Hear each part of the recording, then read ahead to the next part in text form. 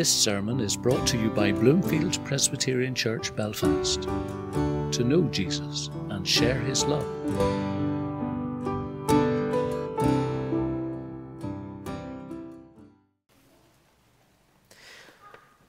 John chapter 14, verses 15 to 17, and then 23 to 26.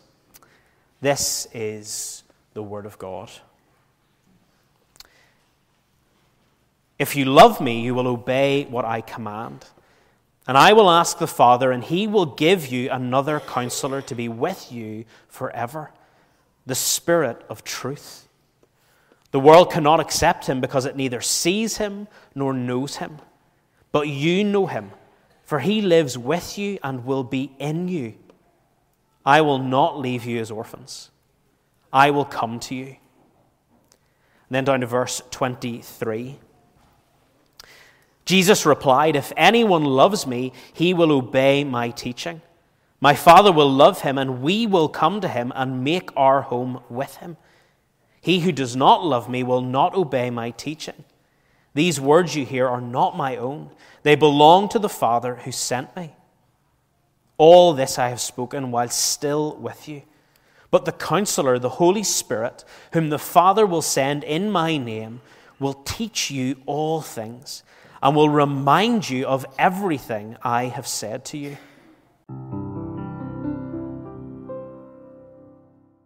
Father, we come before you aware that, that although what we do now seems very ordinary, to read a book, to hear someone speak, yet, Lord, you tell us in your word that as your word is read and preached, your spirit is at work. So, Father, we thank you for that. And we pray that as we read your word together, as we hear your word preached, that, Lord, you would be at work. That this would be all of you. And that, Lord, you would use what is said and done here today to draw people to love you more and to obey your ways and to live for and serve you. For we ask it in Jesus' name. Amen. We're going to turn again to God's Word, this time in uh, John chapter 16. Um, a little bit later on in Jesus' um, sharing with his disciples in the upper room. Um, and we're going to be looking at verses 7 down to 15. You'll find that on page 1084.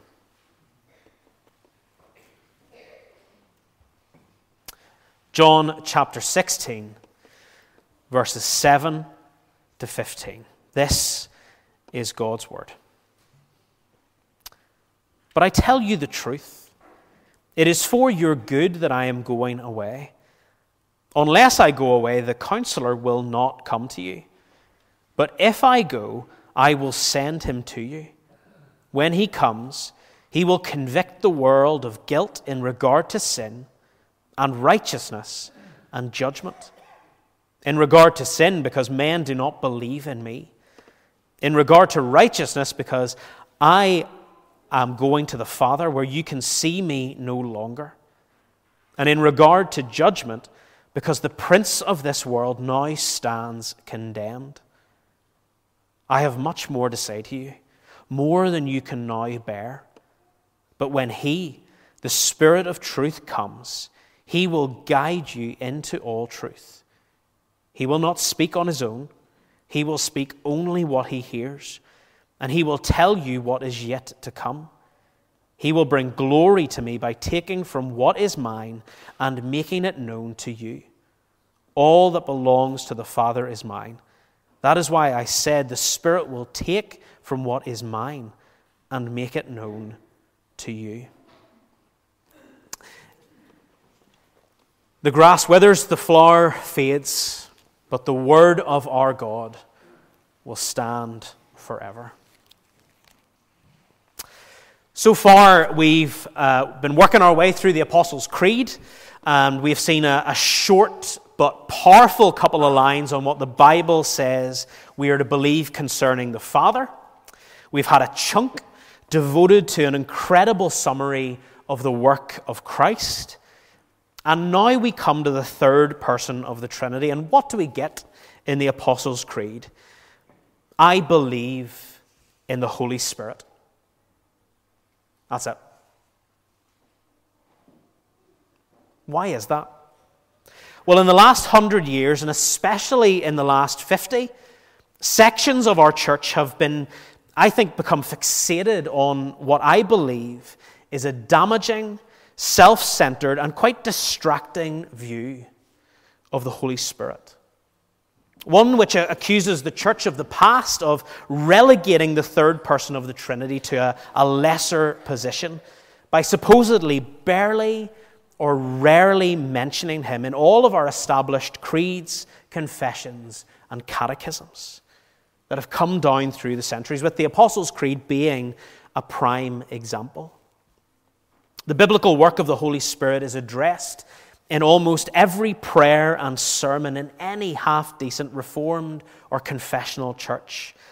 And yet, in, in almost every church that I've served in, I've heard people say, Do you know, we never seem to talk about the Holy Spirit in this church.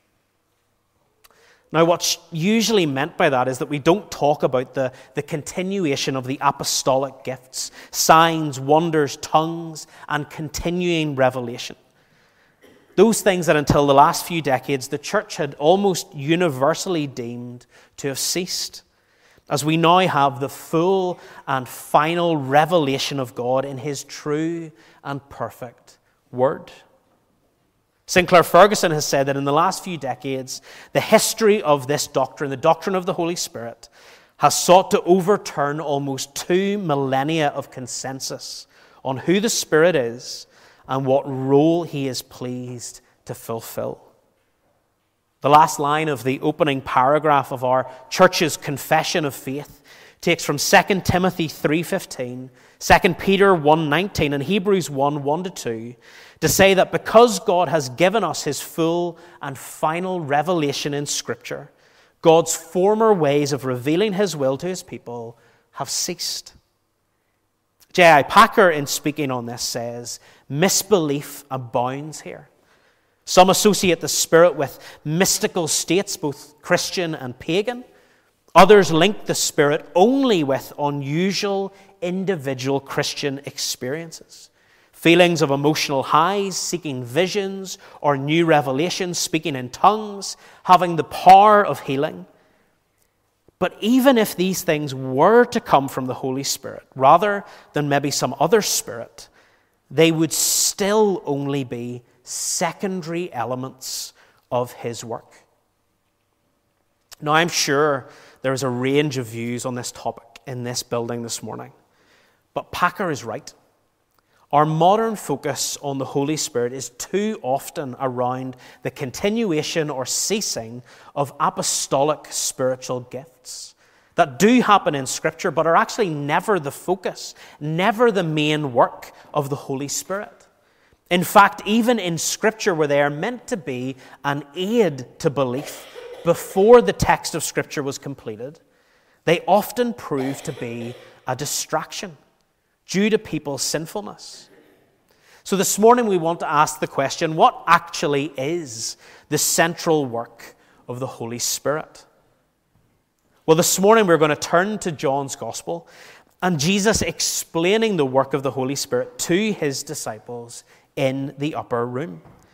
In these verses from chapters 14 and 16, Jesus teaches about receiving the Holy Spirit, the work of the Holy Spirit, and for want of a better word, the desire of the Holy Spirit.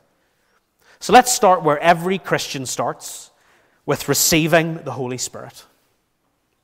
Chapter 14, verses 15 and verse 23. The first thing we see is that we receive the Holy Spirit by loving God and obeying what God commands. The Holy Spirit is gifted to those who have had their dead, rebellious hearts made alive by the Spirit so that they can actually love God, their Maker and King. John 6:63 says it is the spirit that gives life. 1 Corinthians 12:3 says no one can say Jesus is Lord except by the Holy Spirit. Now it would be a strange thing if someone claimed to be devoted to their king but refused to follow his commands. In, in fact, it would show that you didn't really love the king at all. You were just saying you loved him for some other reason. There are many in our world today who label themselves as progressive Christians. They claim to follow Christ, but believe that they have progressed beyond the, in their view, dangerous and damaging commands of the Bible, which might have been true at a time, but are now somewhat embarrassing or even maybe harmful to a world that now knows better. Often they have a view that the age of the Father was the Old Testament, the age of the Son was the New Testament, and now we are in the age of the Spirit, who gives new and different revelation. That interestingly almost always agrees with whatever our sinful world has decided was morally okay last week. This is simply not what the Bible teaches.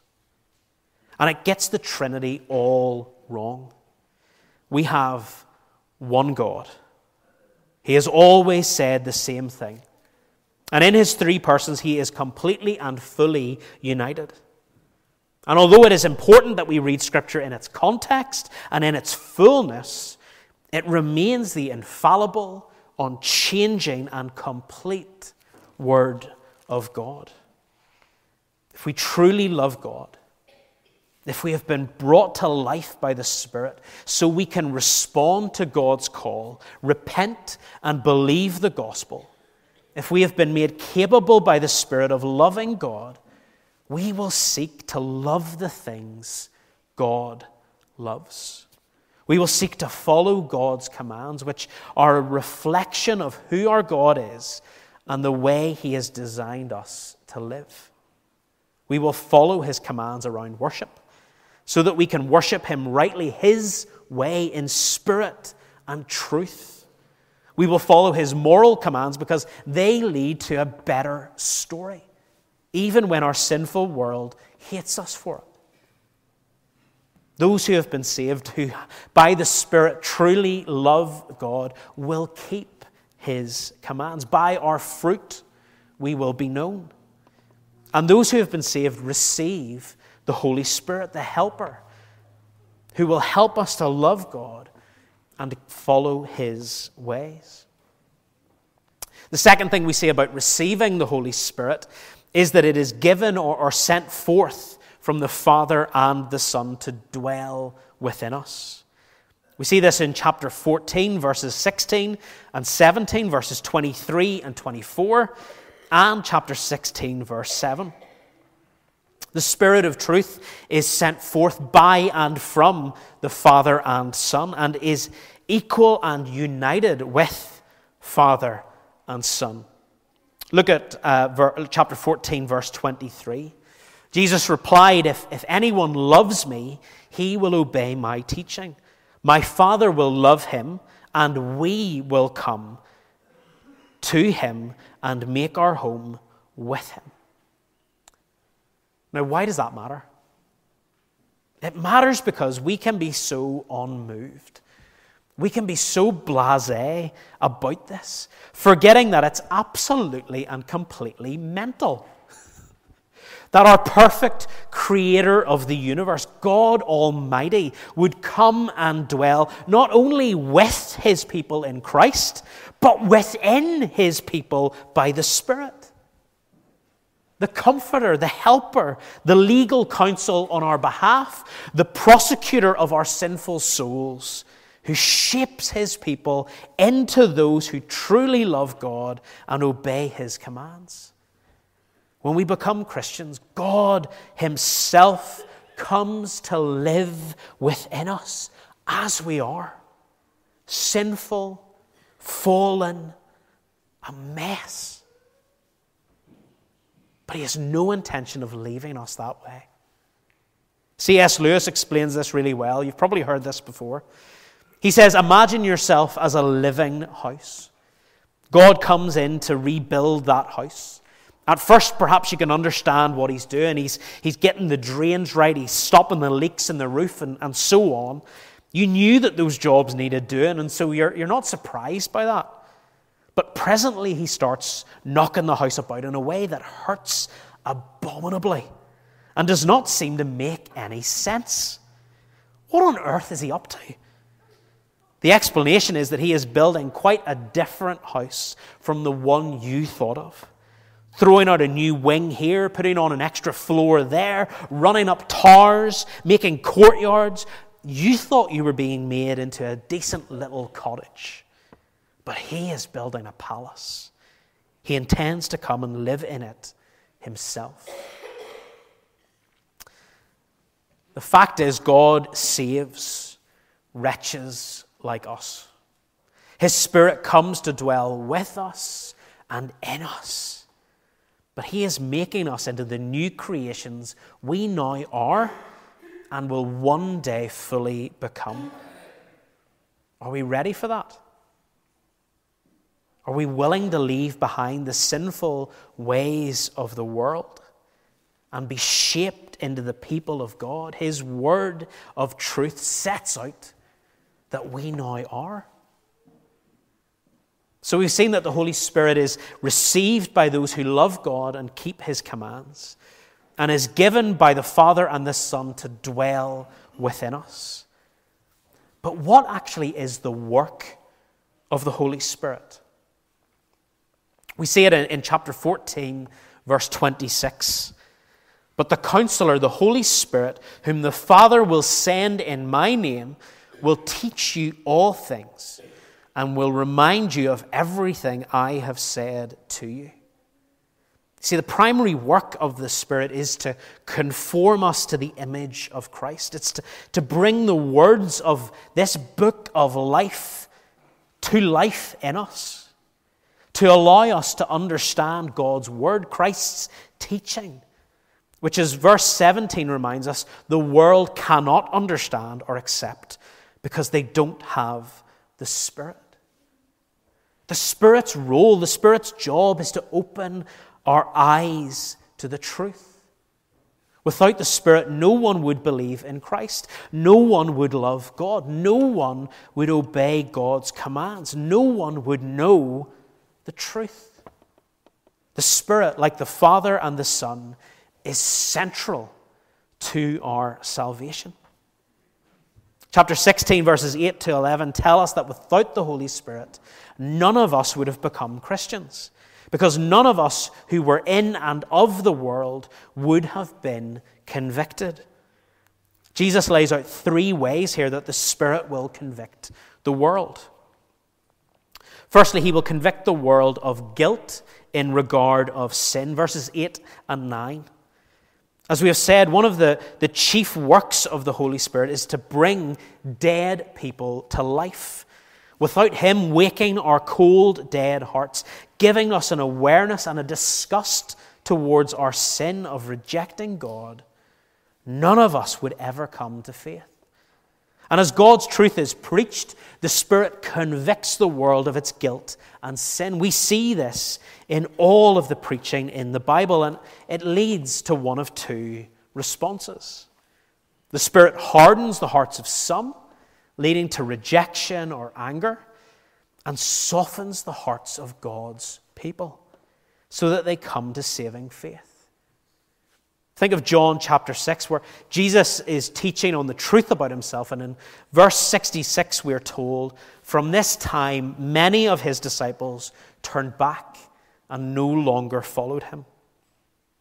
He then turns to the 12 who have heard the same teaching and asks, Are you going to leave as well?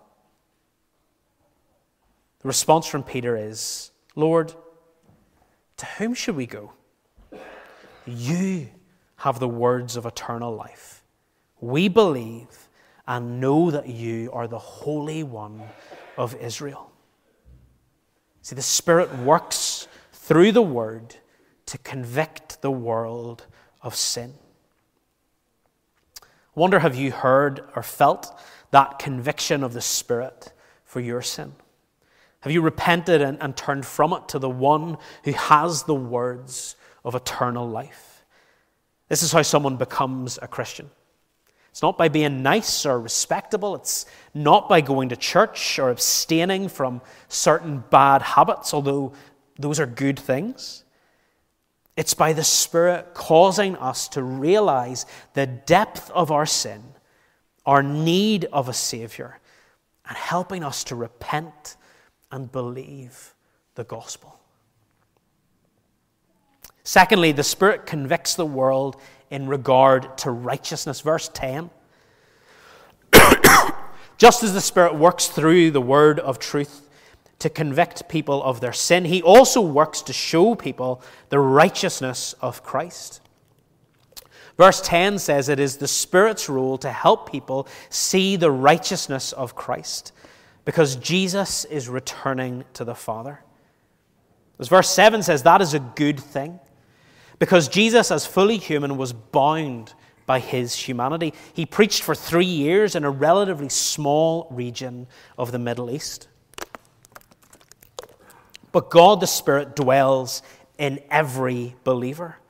God the Spirit works through the Word as the truth is proclaimed, and we have seen the results. The church has been hated and hounded and oppressed and hurt for 2,000 years and yet it has grown and grown.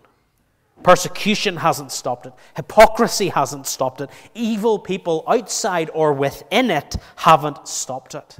False teaching hasn't stopped it. Apathy hasn't stopped it. The devil hasn't stopped it. Every day, more and more people hear the truth of God's word, are convicted of their sinfulness, and of Christ's righteousness by the Holy Spirit and go from being dead and facing judgment to being alive and looking forward to everlasting fullness of life. That is the work of the Holy Spirit. It is the work the Spirit does as the church fulfills her great commission to go and make disciples, teaching them to obey everything God has commanded. As we prayerfully share the gospel in the places God has put each and every one of us, as we offer to open and, and read the Bible with a friend or a colleague, or we invite the people around us to come and sit under the preaching of the word, the Holy Spirit will show God's people Christ, and they will come to saving faith. Our job is to teach and to show. It is the Spirit's job to convict and convert. And He will bring all God's children home. We just need to, by the Spirit's help, be willing to go. Thirdly, then, the Spirit will convict the world in regard to judgment. Verse 11. Some churches don't like to talk about hell or judgment anymore. And in Northern Ireland, it has been used as a tool of fear to batter people into moral behaviour, rather than as a solemn and loving warning of a reality that we all face without Christ. Jesus doesn't give us the option to deny hell and judgment or to bury our heads in the sand about it. The Holy Spirit convicts us that there is a day of judgment. It is a wonderful day in that the devil and all evil and sin will be dealt with. But it is a terrible, terrible day for those found to be without Christ, for those found to still be in sinful rebellion against their God and King. This is a cause for us to rejoice in the one sense that God has rescued his people from this fate and that he will put right what sin has ruined as he has promised to do. But it's also a warning. It's a warning to us who are in Christ to go and do what Christ has commanded us to and share the gospel with others as it was shared with us. In that sharing, the Holy Spirit convicted us of the guilt of our sin, of the righteousness of Christ, and of the judgment to come. And we, by the Spirit at work, responded and were saved. That is the work of the Holy Spirit. That is why the Spirit came to convict the world and save God's people. It is an incredible, wonderful work. We are here today. The church is growing today because of this work of the Holy Spirit. So we thought about how incredible it is that we receive the Holy Spirit. We thought about how uh, we thought about what the saving work of the Holy Spirit is. And then finally, and, and very briefly, I want to look at chapter 16, verses 12 and to 15, and consider what I've, I've maybe poorly worded the desire of the Holy Spirit. and quite simply, the desire of the Holy Spirit is to point away from himself and towards Jesus. If we think about those charismatic, prosperity gospel groups out there, the Bethels of the world, who claim to have apostolic authority, who claim to have new teaching, which is often in direct contradiction to actual scripture, or who claim to have personal healing power, but were nowhere to be seen when COVID struck, or who claim to speak in tongues as a sign that they are on a higher plane of spirituality than others. What's the common denominator? It's that it's all about them. For them, the Spirit is a power they use to draw attention to themselves. It is not the desire of the Spirit that people look to us. It's not even the desire of the Holy Spirit for people to look to and worship Him. Yes, the Holy Spirit is the third person of the Trinity. Yes, the Holy Spirit is God. Yes, the Holy Spirit is worthy of worship. But the reason the historic creeds and confessions of our church don't have large passages or chapters on the Holy Spirit and are instead infused throughout by the work of the Spirit is because the Holy Spirit's role, as verse 14 says, is to bring glory to Christ. The Holy Spirit comes to make the truth of Christ and His word known to the world.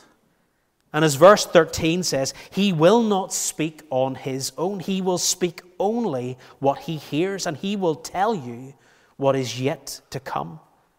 The Holy Spirit does not come to bring new or fresh or different revelation. He is of one mind with Father and Son, one God. He comes so that by His power we can understand the words of truth God has given to us. It's what we see in the New Testament. Look at verse 12. I have much more to say to you, more than you can now bear. We know from reading the Gospels that the disciples hear all that Jesus says to them, but we know that until the Holy Spirit comes at Pentecost and begins to guide them into the truth, as verse 13 says, they fail to grasp all of what Christ is saying.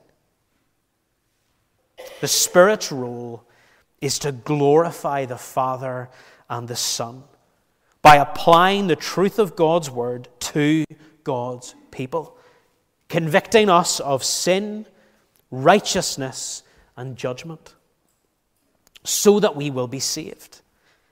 Then the Spirit comes to dwell in and with us, shaping us more and more into those who love Christ, who love His truth, who obey His word, and who live for and serve Him now and for eternity. And who by the Spirit are empowered and emboldened to go out and share Him with a world in darkness, facing judgment. A world that needs the truth and the life that comes only through the incredible work of the Holy Spirit as it is set out in Scripture. Should we pray?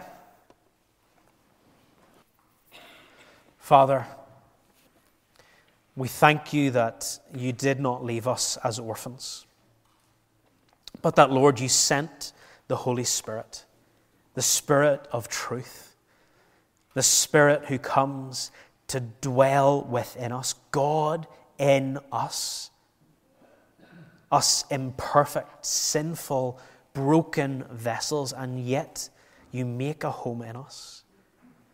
Lord, we thank you that you do not leave us as we are, that by your Spirit you rescue us.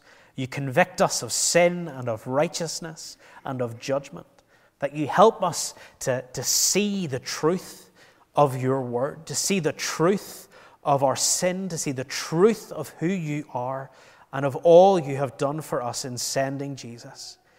And Lord, by your Spirit, you help us to respond. If it was not for your Spirit, we would be lost. So, Lord, we thank you for the Spirit. We thank you for what He does for us and in us.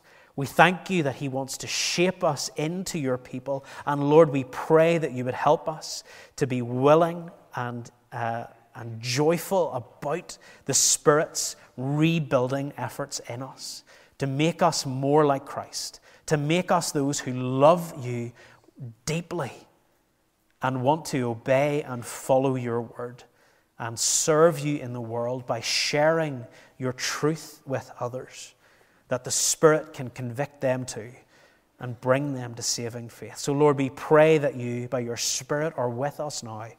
Be with us as we leave this place. And, Lord, help us to live for you, to serve you, to love you, to follow you, and to share you with those that we love and those that we are with. For we ask it all in Jesus' name. Amen.